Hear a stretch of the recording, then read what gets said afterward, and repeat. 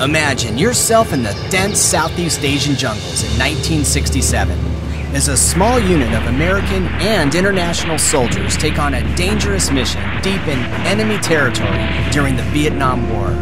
Without an experienced unit available, five Marines, a SEAL, a Ranger, a Green Beret, a former French Foreign Legionnaire, and two Burmese are cobbled together for the mission.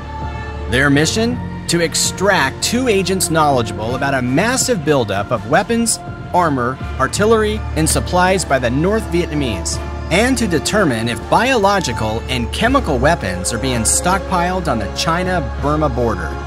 The team encounters American POWs who have been brutally tortured and are about to be transported to China and the Soviet Union. Can the unit save them before it's too late and still accomplish their original mission? Author and former Vietnam Marine R.D. Moore has packed some of his own experiences into this daring novel that rates as one heck of a military thriller. And what do leading generals say of his previous book, The Chopper Caper? A real page turner. It'll make a hell of a movie. Ruben Cubero, Brigadier General, U.S. Air Force, retired. Fast paced adventure with a plot twist you don't see coming. Terrific.